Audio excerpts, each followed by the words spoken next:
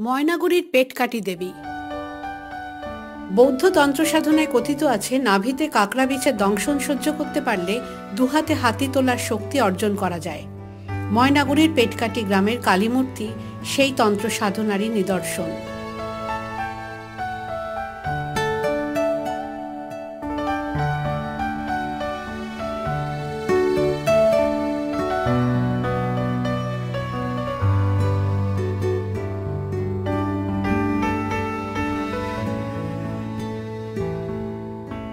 ময়নাগুড়ি শহর থেকে মাত্র দু কিলোমিটার দূরে ছোট্ট জনপদ, এই পেটকাটি গ্রাম।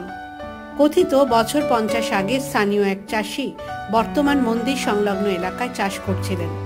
তার লাঙলের ফলায় লেগে উঠে এসেছিল এই মূর্তি।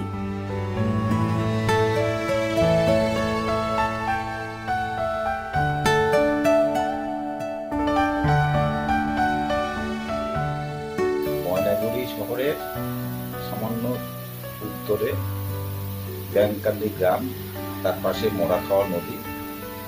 সেখানে বছর পঞ্চাশেক আগে স্থানীয় মানুষেরা একটি মূর্তি পায়। সেই মূর্তিটি প্রতিষ্ঠিত হয় এবং সেটি পেটকাটি বন্দি মানে কালী পেটকাটি দেবী হিসেবেই পরিচিত হয়। এরপর পাশেই তৈরি হয় মন্দির, সেই থেকে পূজিতা হন এই পেটকাটি দেবী। জীবনের যে কোনো সমস্যায় দেবী একমাত্র ভরসা। এমনটাই বিশ্বাস এলাকার মানুষের। জলপাইগুড়ি জেলার গবেষক উমেশ শর্মা জানান, দুশো বছর আগে জলপাইগুড়িতে বৌদ্ধরা থাকতেন। আঠেরোশো উনপঞ্চাশ খ্রিস্টাব্দে স্যার জে ডি হুকার তিস্তার পারে একটি বৌদ্ধ মন্দির দেখেছিলেন। সারা পৃথিবীর একজন পায়োনিয়ার বোটানিস্ট জেডি হুকার, তিনি যখন হিমালয়ান জার্নাল লেখেন এবং জলপাইগুড়িতে এসেছিলেন তিনি আঠারোশো আটচল্লিশ সালে সেই সময়ে তিনি দেখেছিলেন তিস্তার পাড়ে বৌদ্ধ প্যাগোডা সেটি এখন কোনো চিহ্ন পাওয়া যায় না। বৌদ্ধ তন্ত্রের কিছু কিছু ছাপ আমরা জটিলেশ্বর এবং জল্পেশ্বরেও আমরা পাই। পেটকাটি মন্দিরের প্রাঙ্গণে যেসব ভগ্ন স্তূপ আছে, যেসব শিলা পাওয়া যাচ্ছে, আছে এখনও যে কোনো দর্শক গিয়ে দেখতে পারে, সেই শিলাখণ্ডের সঙ্গে বটেশ্বরের যে শিলাখণ্ড জটিলেশ্বরের যে শিলাখণ্ড একটা অদ্ভুত সমন্বয় আছে। অনেক আগে থেকেই জলপাইগুড়ি জেলায় বৌদ্ধ তন্ত্র সাধনারও প্রচলন ছিল। তার প্রচুর নিদর্শন পাওয়া যায়। সেই থেকে সহজেই অনুমান করা যায় এই মূর্তি বজ্রযানী বৌদ্ধ কালী মূর্তি পেটে বৃশ্চিক নিয়ে সাধনা তন্ত্র সাধনার একটি অঙ্গ। বৌদ্ধ সাধনার তিনটা তন্ত্র বা তিনটা ধারা আছে। একটা হীনযান একটা মহাযান একটা হচ্ছে বজ্রযান।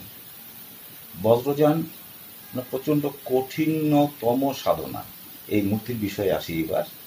একটা সহস্র পদ্ম তার উপরে দাঁড়িয়ে আছেন এই দেবী।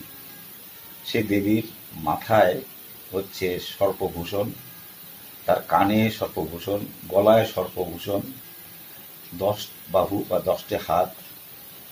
এই দশটি হাতের মধ্যে দুইটা হাত ভেঙে গেছে। নাকটাও ভেঙে গেছে। দশটা হাতের মধ্যে ডান দিকের হাতগুলোতে আমরা দেখব একটাতে হাতি ধরা আছে, একটাতে একটা বাদ্যযন্ত্র আছে, একটা কঙ্কাল আছে, আর বাঁ দিকের হাতে দেখব একটা সব দেহ আছে, একটা ঘণ্টা আছে। এরকম বিভিন্ন সাধনার সিম্বলগুলো আছে। যেগুলি পদতলে আছে ময়ূর, শেয়াল এবং অস্পষ্ট অনেকগুলো শেয়ালের ছবি। এই যে বিষয়গুলো, এই বিষয়গুলো সাধারণ মানুষের কাছে একটা জিজ্ঞাসা। তার মধ্যে সবচেয়ে বড় জিজ্ঞাসা হচ্ছে, এই দেবীর পেট বলতে কিছু নেই। পেটটা এত তলিয়ে গেছে শিরদারার সঙ্গে মিশে গেছে। এবং সেই পেটের মধ্যে একটা বৃশ্চিক চিহ্ন বৃষ্টির মূর্তি বিছে। তাতেই মনে করা হয় যে পেট নেই, পেটটা যে কাটা। আসলে কাটা নয়। তন্ত্র সাধনারই বজ্রজানী তন্ত্র সাধনার এইটা দেবী। এই দেবীর নাম বৌদ্ধরা চচিকা বা চর্চিকা বলে থাকেন।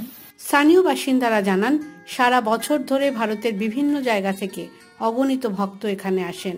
পুজো দেওয়ার পাশাপাশি এদের কেউ মানত রাখেন, কেউ আবার মনোবাসনা পূরণের পর পুজো দেন। জলপাইগুড়ি শহরের বুকে বৌদ্ধ সংস্কৃতির এই নিদর্শন দেখতে বাংলাদেশ থেকেও আসেন বহু পর্যটক। the Wall Bureau.